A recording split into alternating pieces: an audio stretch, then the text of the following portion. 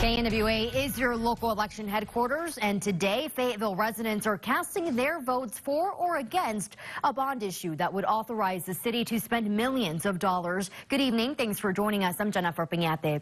KNWA's Clarissa Bustamante is at one of the polling locations to tell us the price tag of the bond and a breakdown of what you're seeing on your ballot. Clarissa.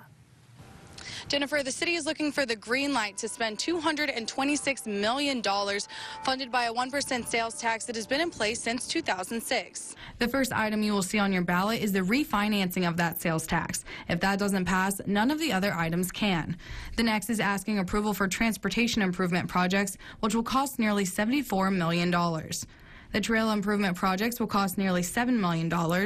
Projects for draining improvements are nearly $16 million. And for park improvements, the city is looking to spend over $26 million. For economic development, a little over $3 million.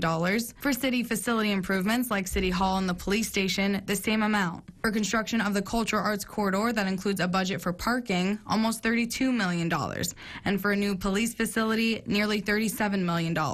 For three additional fire stations, nearly $16 million.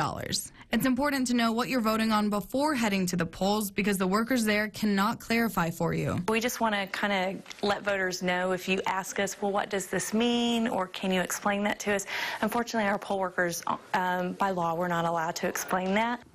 If you want to see what's going to be on the ballot before you head to the polls, head to our website. That's nwahomepage.com. In Fayetteville, Clarissa Bustamante, KNWA Northwest Arkansas News.